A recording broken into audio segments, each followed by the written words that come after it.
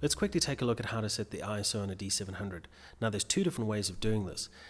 As ISO is something we're changing all the time, there is a shortcut button available to us, and this is located right next to the command dial. So if you were to use your index finger, pull it slightly back towards the prism, and press this down, you'll see we enter the ISO menu. Now there's a couple of different options available, everything from auto through 100 all the way through to 12,800 ISO. The second way of doing this is by pressing the Q button on the back of the camera and once again this highlights the ISO and from here once again we can set the ISO that we choose. Let's quickly take a look at a couple of different drive modes that are available on this particular camera. Now there's two different ways of setting this. The one is by pushing the Q menu and scrolling to this icon over here. Again, this icon may be different depending on what you have preset in the camera. And let's take a look at what these different options are. The first option is single shooting. So if I press the shutter button down, it will take one photograph. The second option is continuous shooting. So if I hold the shutter button down, it will keep taking photographs. The third option is a self timer with the remote. So if I push this the remote, this the camera will then start counting down and then only take photograph. The fourth option is just normal self timer. So if I was to put the camera on a tripod, push the button, it will then count down and take a photograph after two seconds. The fifth option is continuous self timer. So here what I can do is I can set by pushing up and down, I can set exactly how many images the camera will capture in a row. So if I was to set that to seven, it'll count down and then it'll take seven images in a row. The alternate way of setting this up is by pushing the icon just left of the set button. Here we access exactly the same menu. It's just a bit of a shorter way of actually getting to it. Over the next few minutes, I quickly want to go through picture styles.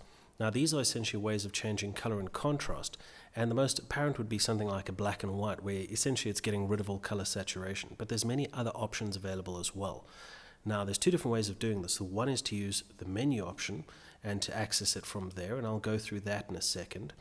But I'd like to just also mention the shortcut, which is available off the back of the camera. This can be identified by taking a look at the icon, which almost looks like a flat disk of five different squares. If you press this button, you'll see you immediately access the picture style menu. What you have is, by default, you have eight different options available. You have auto, standard, portrait, landscape, neutral, faithful, monochrome, and then three user-defined options available as well.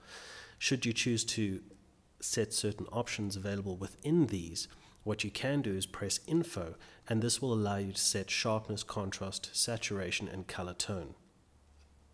The alternate way of doing this is by pressing menu. And once again you can access the picture style and you'll see here those same options are available. Should you choose to alter one of these, once again you can just push info and here once again you'll see that you can set different values.